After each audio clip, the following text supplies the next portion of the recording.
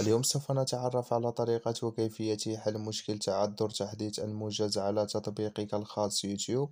ما عليك أن تقوم بفعله لحل هذا المشكل؟ تضغط على الضبط والإعدادات هنا ثم سوف يقوم بأخذك إلى هذه القائمة الخاصة هنا.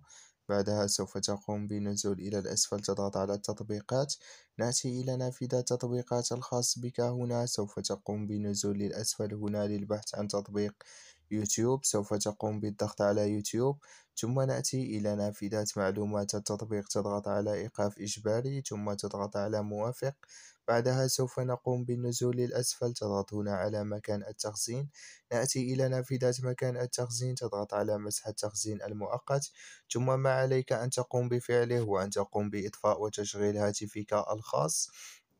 لكي يقوم بتحديث التطبيق وحل المشكل.